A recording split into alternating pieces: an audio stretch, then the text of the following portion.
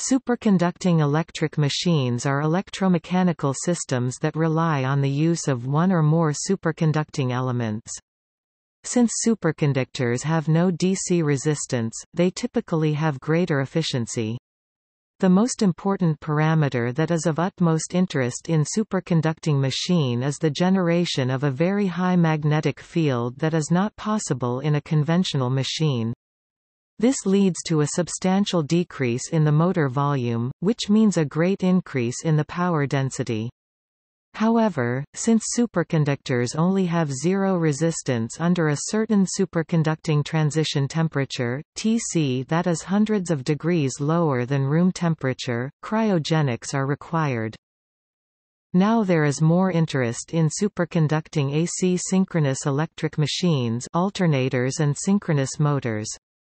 The direct current electromagnet field winding on the rotor rotating member use superconductors but the alternating current multiphase winding set on the stator stationary members, which have no practical support by superconductors, uses conventional, normal conduction copper conductors.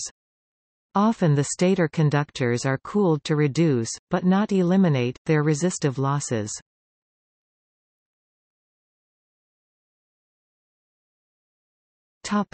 History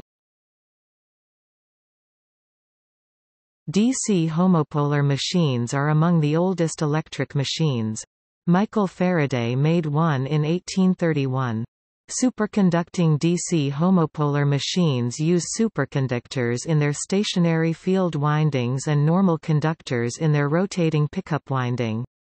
In 2005 the General Atomics Company received a contract for the creation of a large low-speed superconducting homopolar motor for ship propulsion.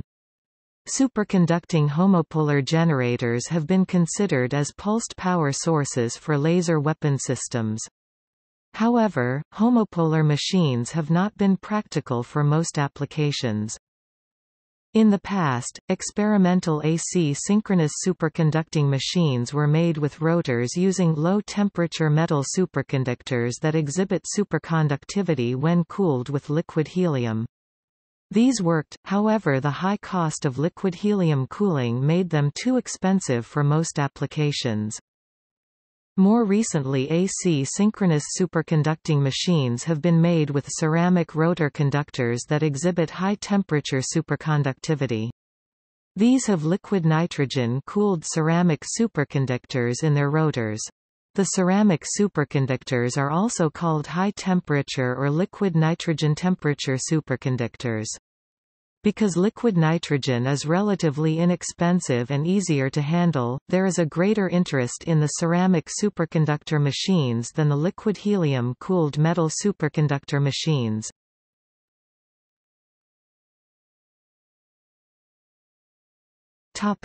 Present interest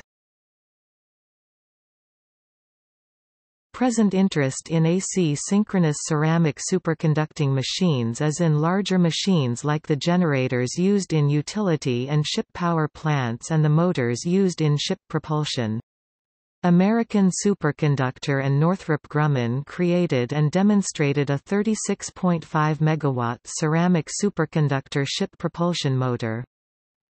Because they are lightweight and therefore offer lower tower and construction costs they are seen as a promising generator technology for wind turbines. With superconducting generators the weight and volume of generators could be reduced compared to direct drive synchronous generators, which could lead to lower costs of the whole turbine. First commercial turbines are expected to be installed approximately in 2020.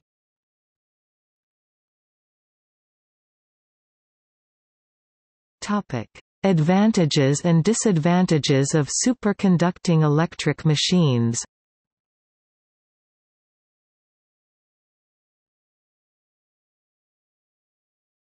Topic: Compared with a conventional conductor machine. Superconducting electric machines typically have the following advantages Reduced resistive losses but only in the rotor electromagnet. Reduced size and weight per power capacity without considering the refrigeration equipment. There are also the following disadvantages. The cost, size, weight, and complications of the cooling system. A sudden decrease or elimination of motor or generator action if the superconductors leave their superconductive state. A greater tendency for rotor speed instability. A superconducting rotor does not have the inherent damping of a conventional rotor. Its speed may hunt or oscillate around its synchronous speed. Motor bearings need to be able to withstand cold or need to be insulated from the cold rotor. As a synchronous motor, electronic control is essential for practical operation. Electronic control introduces expensive harmonic loss in the supercooled rotor electromagnet. Topic: High-temperature superconductors versus low-temperature superconductors. High-temperature superconductors HTS become superconducting at more easily obtainable liquid nitrogen temperatures, which is much more economical than liquid helium that is typically used in low-temperature superconductors. HTS are ceramics, and are fragile relative to conventional metal alloy superconductors such as niobium titanium. Ceramic superconductors cannot be bolted or welded together to form superconducting junctions. Ceramic superconductors must be cast in their final shape when created. This may increase production costs. Ceramic superconductors can be more easily driven out of superconductivity by oscillating magnetic fields. This could be a problem during transient conditions, as during a sudden load or supply change.